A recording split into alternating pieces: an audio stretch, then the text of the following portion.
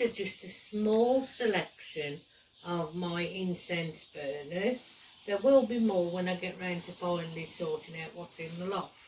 But we have candle holders, we have oil burners, we have cone burners, we have incense burners. The two cone burners that are out right now are what's known as backflow incense, so they have the holes in the cone so that it can come back and down the dragon's mouth and the tree of life's mouth. Uh, we have my two boxes which also hold your incense as well as burn it. Um, my dragon has a light that lights up as well. It looks absolutely gorgeous at night. It doesn't do it justice in the daytime.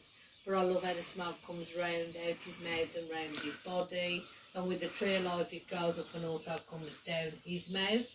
And then we have my dragon oil burner, my unicorn oil burner, my candle holder. We do have a um, a Wiccan um, one that holds spell candles, but I haven't got the right size candle for it yet.